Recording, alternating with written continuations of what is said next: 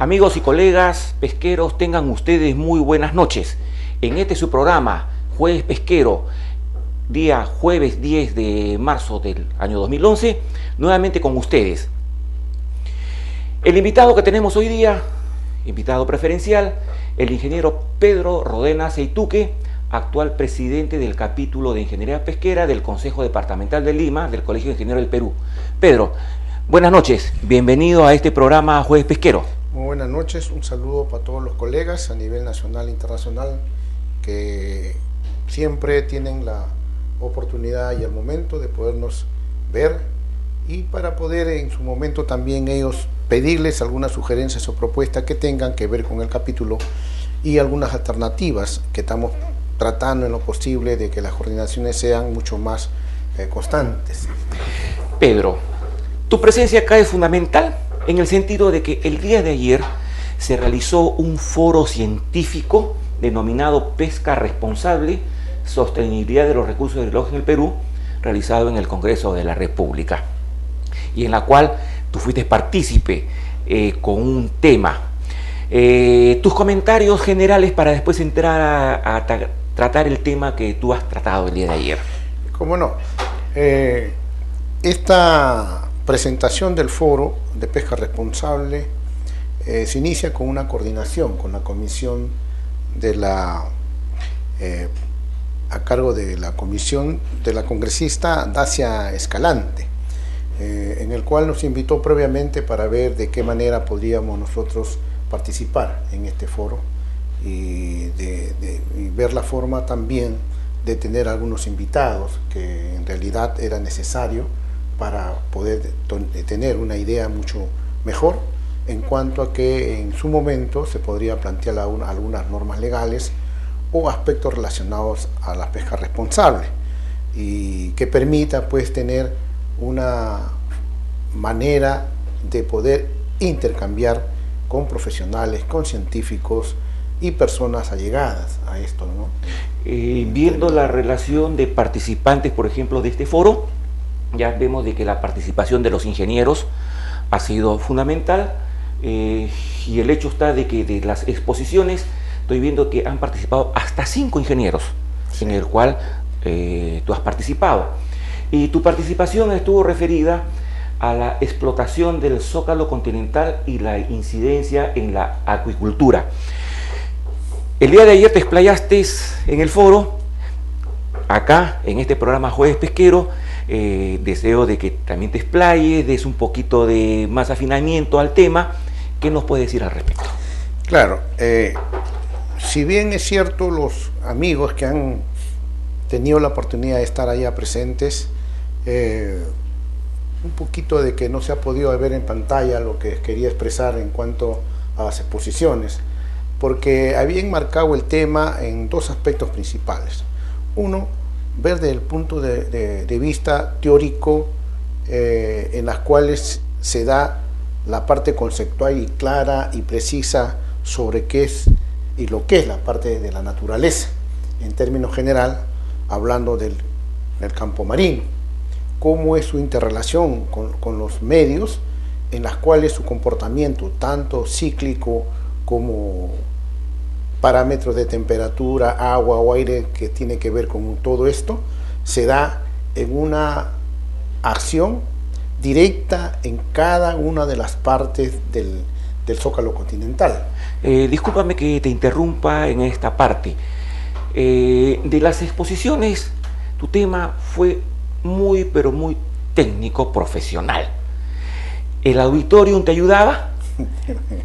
bueno, en realidad, eh, la idea era de que trataran de entender lo que se iba a conversar ahí.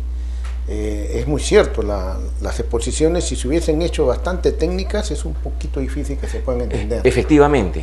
Por la misma invitación que se había hecho a una serie de, invitados de diferentes eh, áreas y sobre todo también pescadores que llegaron masivamente. Efectivamente, la afluencia de ellos ha sido Era, era necesario eh, darle en la temática, primero introducirlos en el campo del por qué estamos hablando de una pesca responsable, por qué estamos hablando de sostenibilidad. ¿no? porque esta pesca responsable se hace con un medio sostenible y el medio sostenible empieza con el mar, en términos generales. ¿Cuáles son sus aspectos principales que se debe de cuidar? ¿Cuáles son los medios adecuados que permita que este mar tan rico en cuanto a nutrientes sea aquel que nos da vida y el, y el cual debemos nosotros mantenerlo?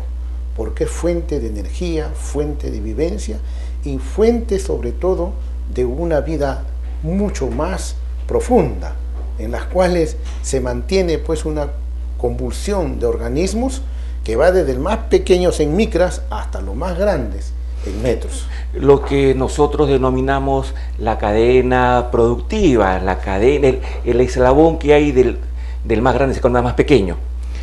Eso lo entendemos nosotros. La cuestión era de poder captar la atención en el auditorio.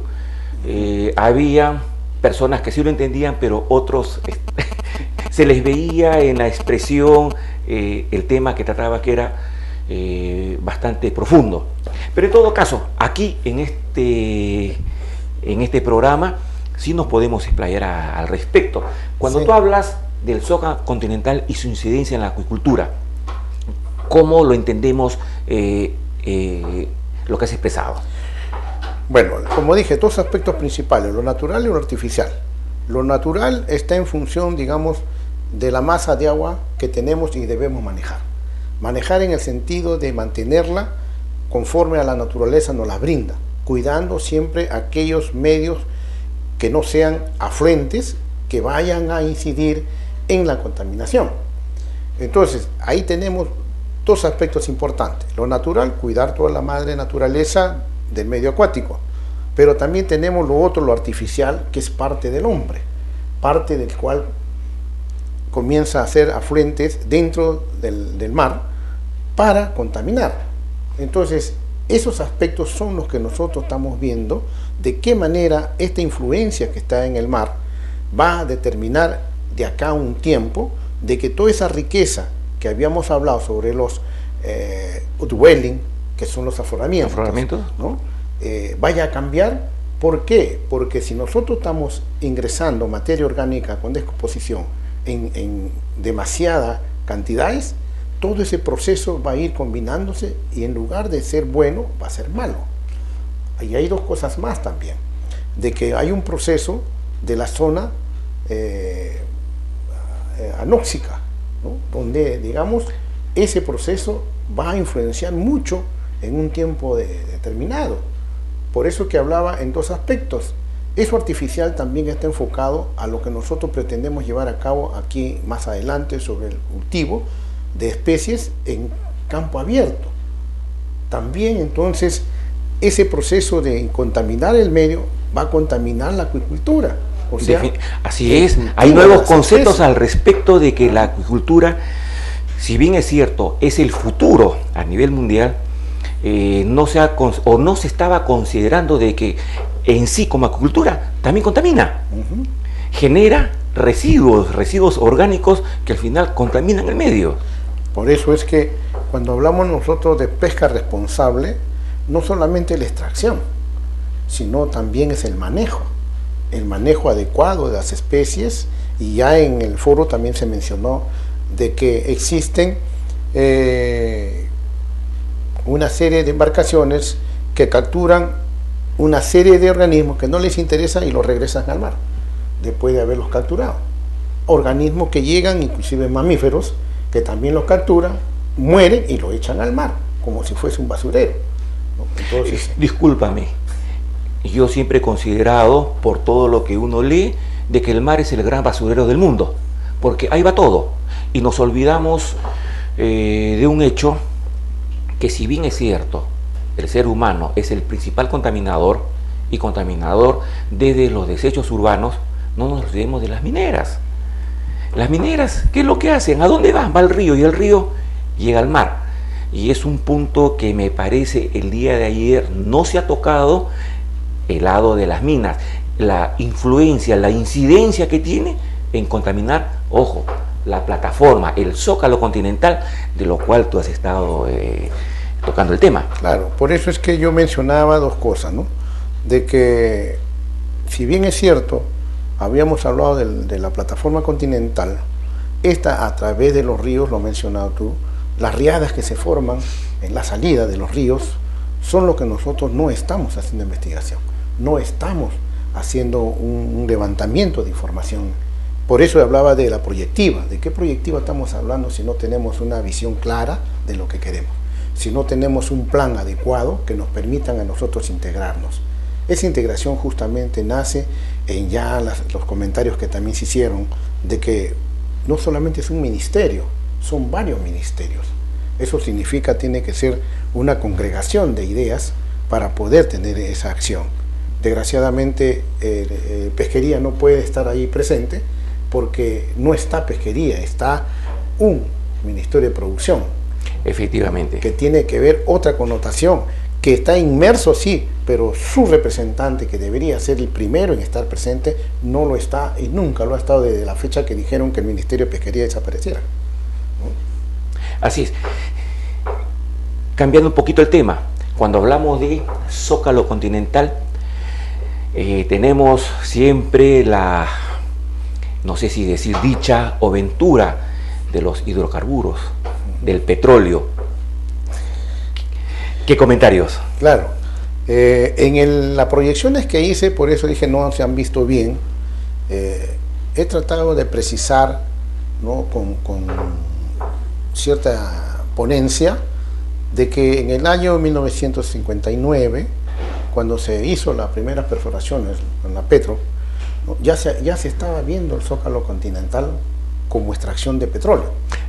Efectivamente, así es. Entonces, pero de esa fecha a hoy no se ha hecho más de lo que se viene, porque ya hay proyectos para poder hacer todo lo, que, lo que se da para prospección de todo el zócalo.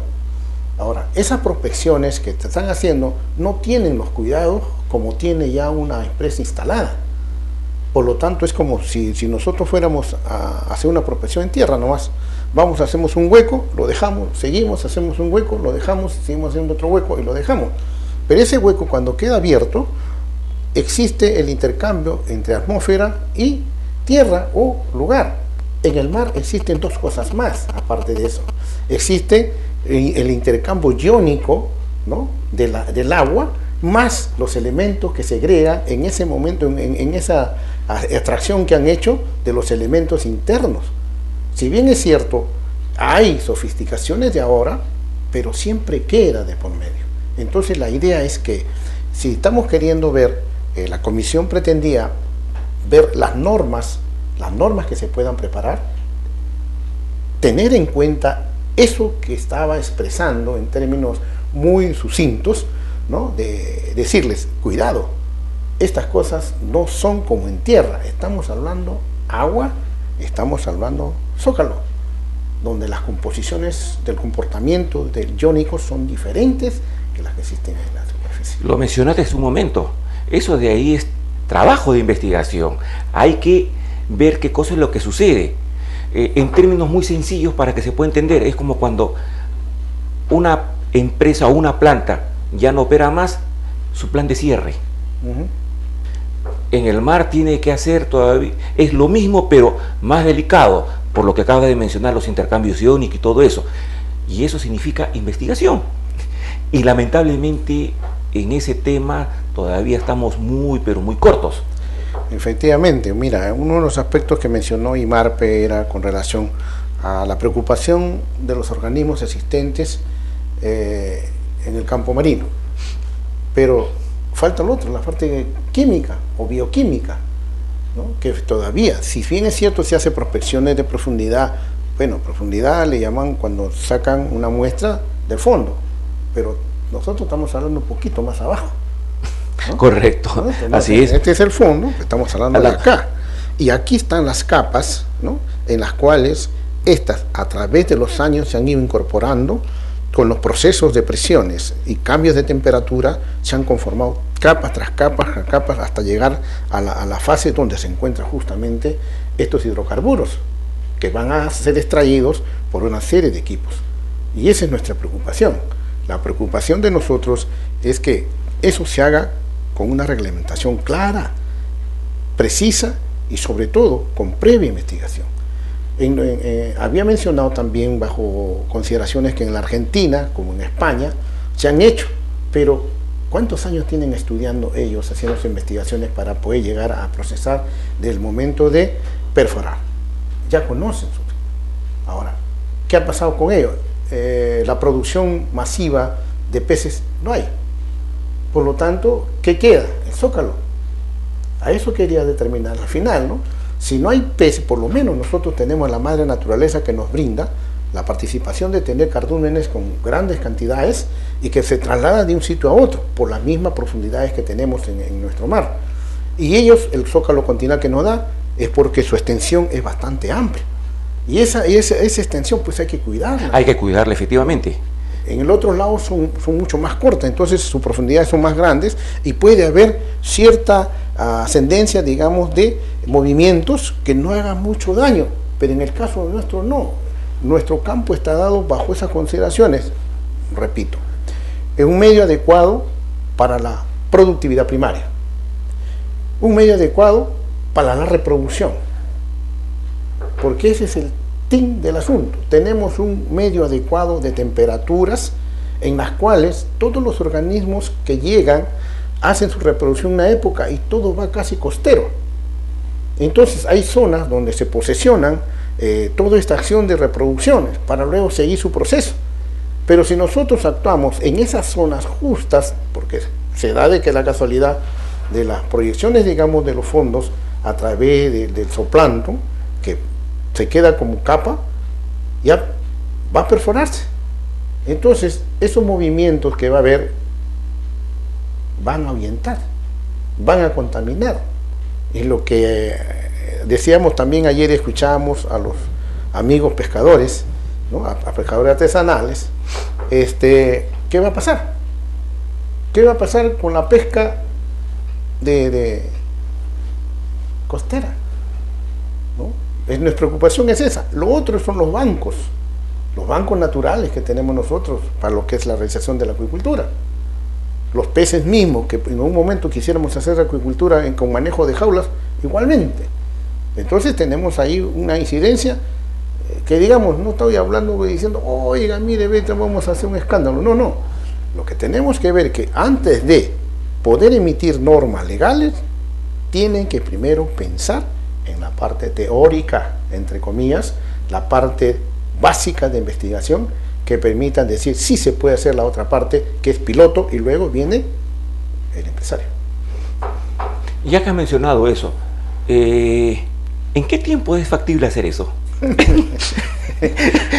Porque lo has mencionado en una forma muy transparente, muy bonito, como el amigo expositor de Mundo Azul, ah. cuando hizo una este, alegoría a lo que es la pesca sostenible, y lo vamos a comentar en un momento, pero eh, seamos pragmáticos, seamos fríos.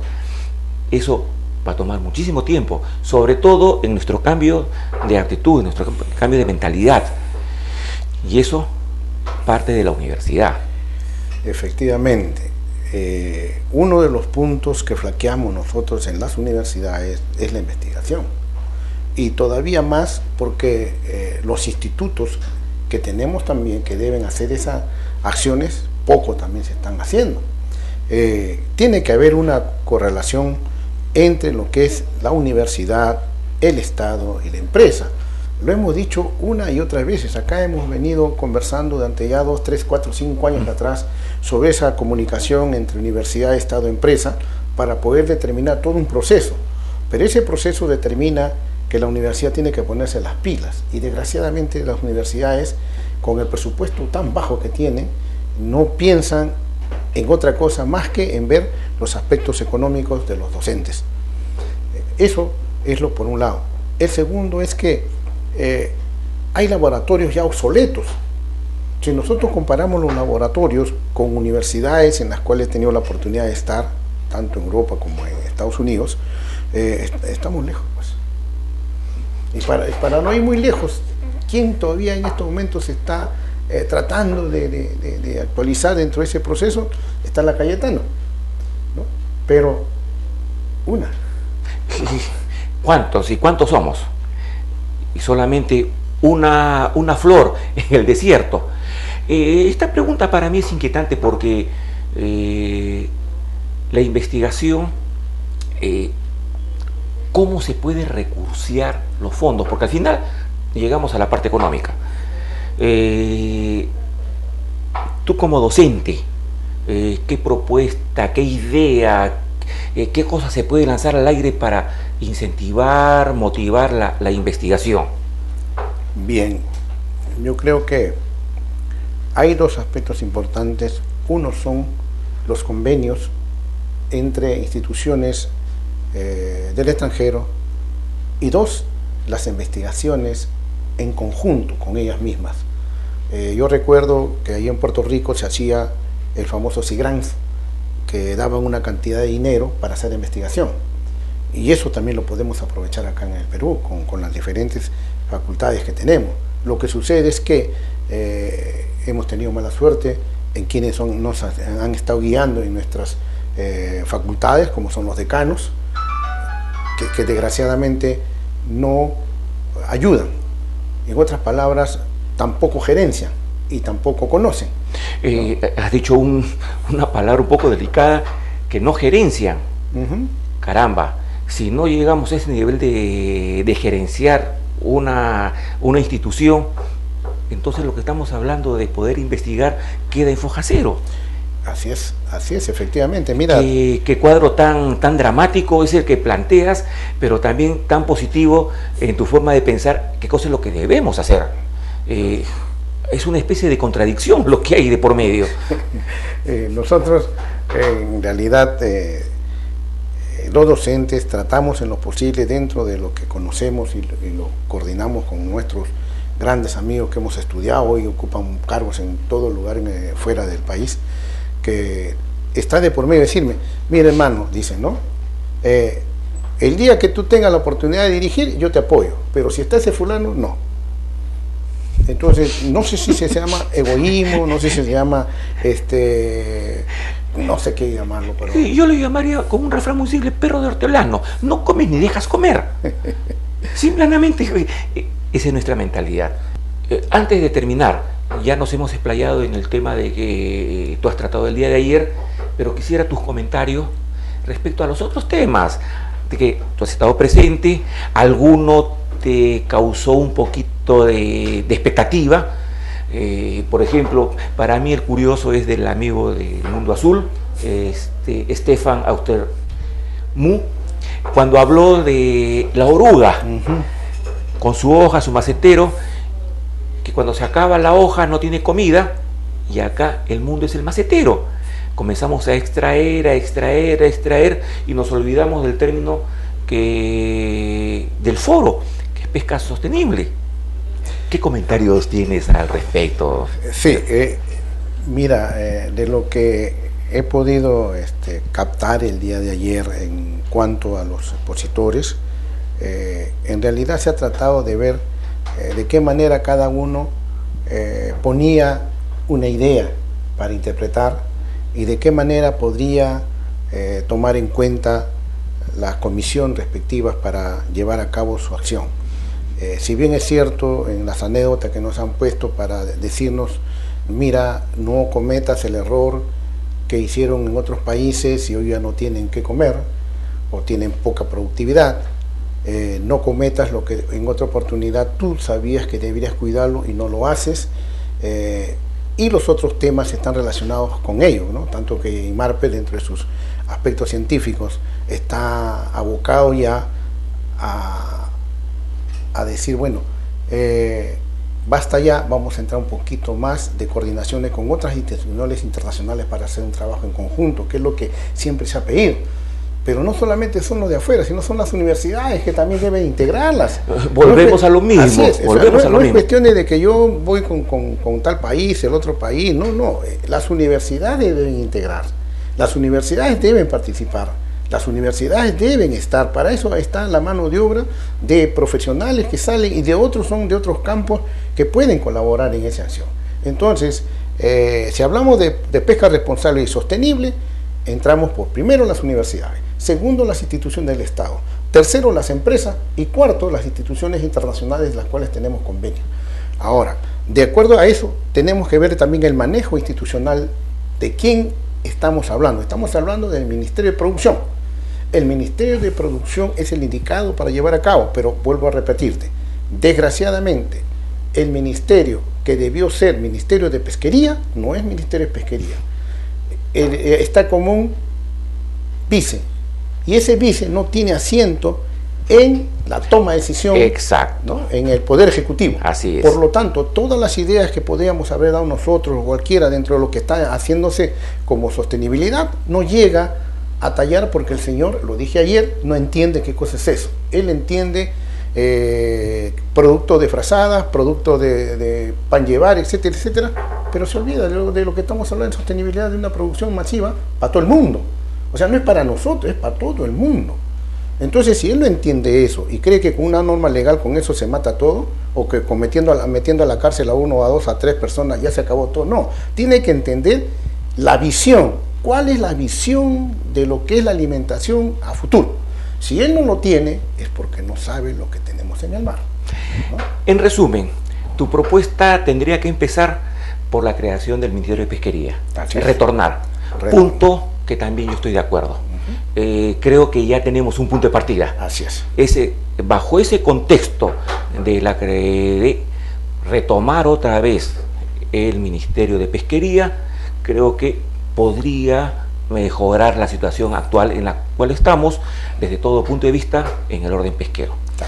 Y además, para anotar un poquito, ahora con los con el Colegio Profesional de Ingenieros Pesqueros, o sea, los ingenieros en términos general, bajo la acción del Plan 2040, que va a haber la unión de, visión, entonces sí va a haber esa coordinación porque se tiene que también actuar con la política, con la política de Estado, bajo el término de la alimentación y sostenibilidad de la alimentación a futuro. Teniendo esa política central, las universidades tienen que tallar para poder integrarse y los institutos también. Entonces entramos a lo que estamos dicho, universidad, Estado, empresa. Eso es lo que tendríamos que... Pedro, ahora sí, ya eh, el tiempo se nos acabó. En todo caso, el agradecimiento por brindarnos tu valioso tiempo en este programa Jueves Pesquero. Tus palabras finales, Pedro, para terminar. Eh, amigos, eh, estamos yendo en un camino a proyección y queremos la participación de todos ustedes que nos envíen sugerencias, propuestas al correo. Ustedes lo conocen, nos hemos comunicado. Y a los amigos que se encuentran fuera del país, también queremos sus perspectivas y proyecciones que tienen a través de lo que ven ustedes allá y cómo ven ustedes a nuestro país para ver esta pesca responsable y sobre todo la sostenibilidad de nuestro mar y la opinión de ustedes con relación a que podamos tener nuevamente el Ministerio de Pesquería para poder tomar decisiones a futuro y proyectivas a cuidar nuestro mar y el campo de lo que es el sector continental. Gracias y un abrazo para todos ustedes nuevamente. Gracias, Pedro. Amigos y colegas, hemos llegado al final de un programa más, Jueves Pesquero. En todo caso, el agradecimiento a todos ustedes por habernos eh, permitido entrar a su televisión por internet y poder escuchar todo el comentario que hay respecto al evento que se realizó el día de ayer en el Foro Científico Pesca Responsable, Sostenibilidad de los Recursos Hidrológicos en el Perú. Amigos, muy agradecidos por su atención. Nos vemos la próxima semana en su programa Jueves Pesquero. Adiós.